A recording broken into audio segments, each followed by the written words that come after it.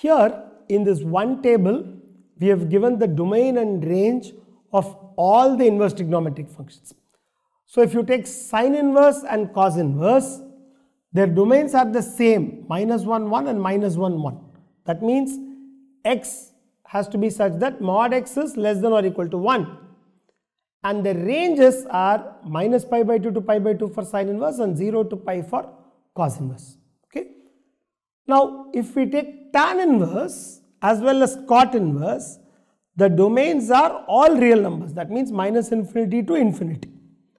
But the range is again open interval minus pi by 2 to pi by 2 for tan. Okay? The endpoints are not included. Similarly open interval 0 to pi for cot inverse okay?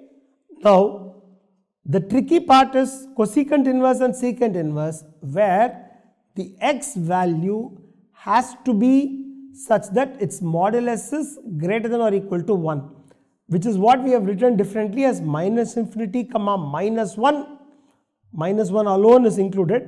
Union 1 comma infinity 1 is included here. That means all values between minus 1 to 1 are not allowed. For example you can't define cosecant inverse of half or cosecant inverse of minus 2 by 3 because they lie between minus 1 and 1 and that's not part of the domain of the cosecant inverse function again the range is between minus pi by 2 to pi by 2 closed interval except for the value 0 Okay. So cosecant inverse can never return the value 0 because cosecant 0 is undefined. Similarly, secant inverse x can never return the value pi by 2 because secant pi by 2 is undefined, right. So this list which is the domain and range of all the inverse trigonometry functions you should know thoroughly.